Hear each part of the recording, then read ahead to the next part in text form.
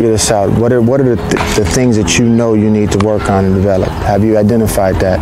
My fielding, Fielding. like my um, assignments. Okay. That'll work. So I want, want you to grab um, three balls um, and bring them out here, right here. We'll just do it right in this area.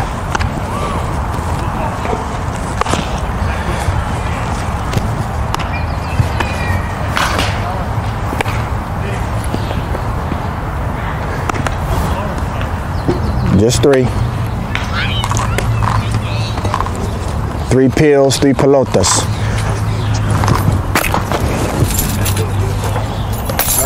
All right, set them up in a triangle. Just right there. hmm Yep. All right. So it's a triangle drill. What I want you to do is work on your approach. You don't need a glove right now. So really when it comes to your fielding, you have to have an approach. First off, it's the pre-pitch routine. So a lot of times what we saw yesterday in the game is we saw this. This is kind of how you were getting ready. And so what that further told me was that one, you're on, sitting on the back of your heels. So a ball that's hit to, you're going to have a lot of late reactionary time to get there because first thing you're going to do is you're going to want to raise up because you have to raise up to get back into an athletic position to then try to navigate left or right. So now we're talking about having a pre-pitch routine. Really all it is is taking a step and a hop.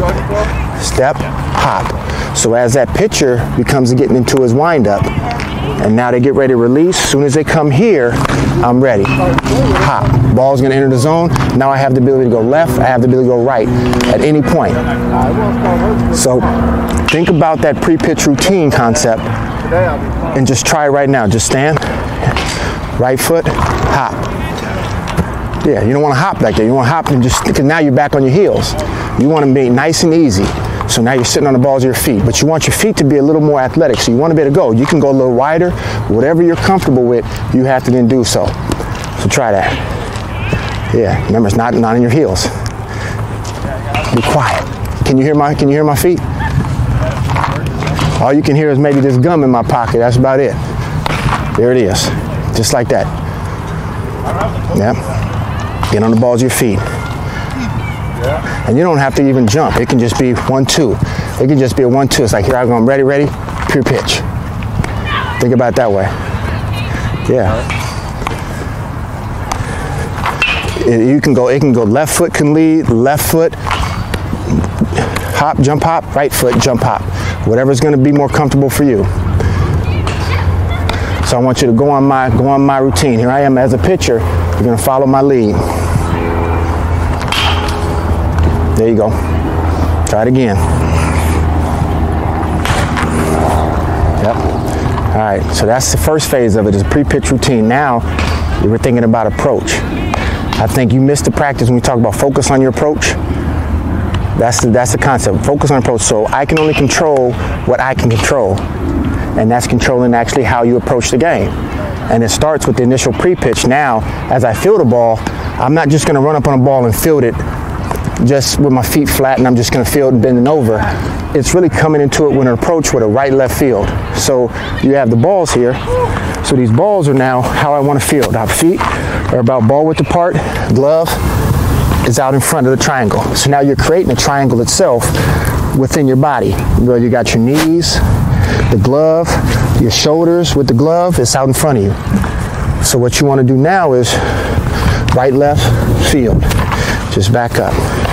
Right, left, field. Notice how I'm fielding the ball out in front of my body. Typically what you've been probably taught and accustomed to is fielding it back here, which, let me ask you this question. You ever seen anybody win a fight against a ball? Right. So think about that. Can I fight a ball or do I want to attack it myself? Do I want to let the ball beat me up or do I want to attack the ball and get it out in front? So that's the concept. So I want you to just get your glove and just really get yourself in a position, set up right next to the balls, two feet to the balls, and then get it out there in front. Just stay there. I want you to stay there, stay there, and just reach that glove out in front of you. Sitting down, sitting down. Yep. Now chest out. And you still want to be able to see it. Open that glove up. Flex that wrist. Yeah. I want that glove out there by that ball, because that's where you're gonna feel it. Yeah. There you go. Now keep trying, just walking back and forth, right, left, field, back up. Right left field. There you go. Just mirror me. There you go. That's how you want it. Good, good, good. Now flex that wrist because you want the eye. Here's the eye. So think about it, eye. Like you can see this. The eye has to see the ball. So you want to make sure that that pocket has visibility to that ball. Good. Good. Now let's do some engineering here. I guess it's, it's physics, science. I don't know what it is. Where do you see? What's the difference between an airplane and a helicopter? How it lands. A helicopter like lands on. Uh, How does it land? Yeah, just tell me. on those, the, uh, for, I don't know. What, a landing pad? Yeah. Yeah, there's a landing pad, but how does it land? It like itself? lands straight. Straight down. What is the airplane? How's the airplane land? It Has to slow down, then it has to. It comes at an angle, right? So when we field, we want to field actually as an airplane because what happens when we do the helicopter, this is what we see. The helicopter goes straight down, now our body, our glove goes straight down. But a helicopter allows us to really get there, right, left, and get out in front. And we come back. And we go.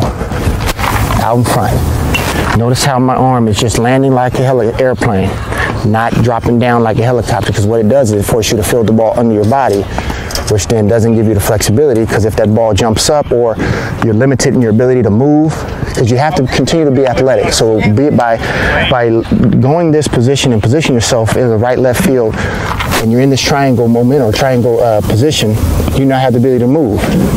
I can adjust. The other thing that's the next layer to it is how do I field the ball on my glove eye side?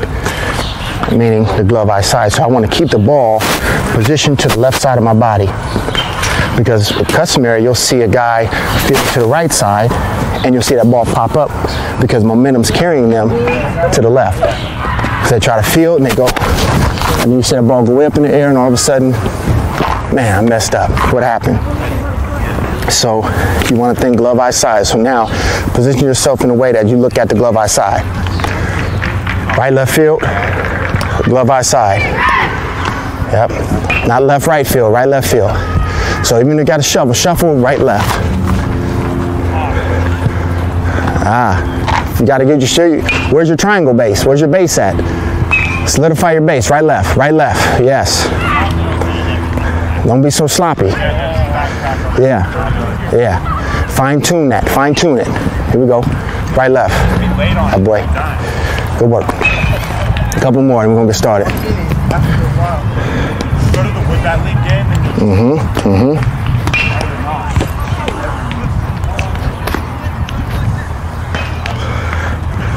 All right. So keep that in mind when we're doing our drill, especially in our infield, individual breakouts. You got to consider that right, left. All right. Let's take a minute. I'm gonna roll this to you. Now I want you to come approach it. Field it just like we were working on. Yep.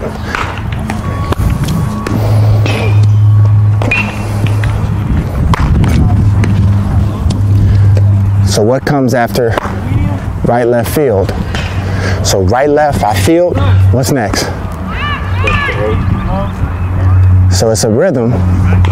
So if we if we had this pattern, we go right left.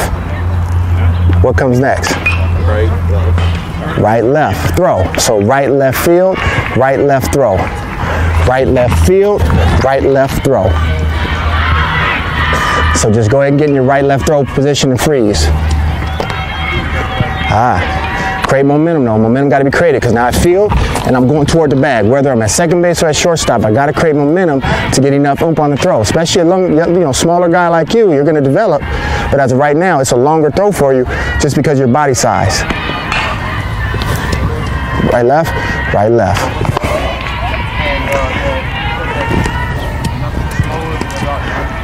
All right, now we want to work on funnel. So what I what I kind of overskipped, I skipped was the funnel piece of it. Right, left field, funnel right to the belly. So now I now I get it. Now I'm going. Field. So field, funnel, and in position. Here we go. Remember, get that glove down in the dirt. Glove in the dirt. There you go. We'll work on that.